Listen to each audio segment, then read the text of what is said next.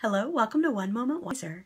This is Kristi Bridges, and yesterday we celebrated the birth of Jesus, and next week we are starting an entirely new decade.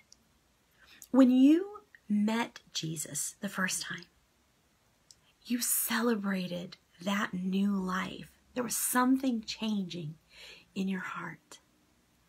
Isaiah says it best. In Isaiah 9, he says, The people walking in darkness have seen a great light.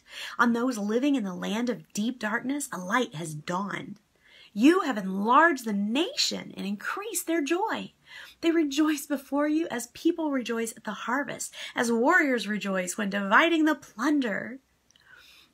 As in the day of Midian's defeat, Midian was a big bully. You have shattered the yoke that burdens them the bar across their shoulders, the rod of their oppressor.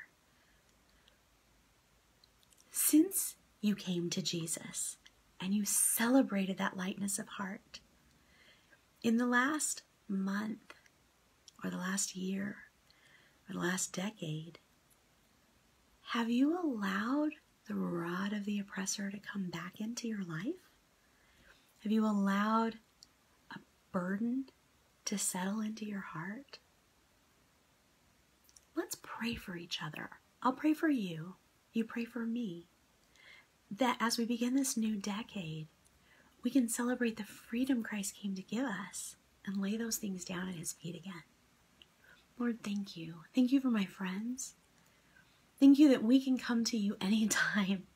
You love us. Your mercy is new every day.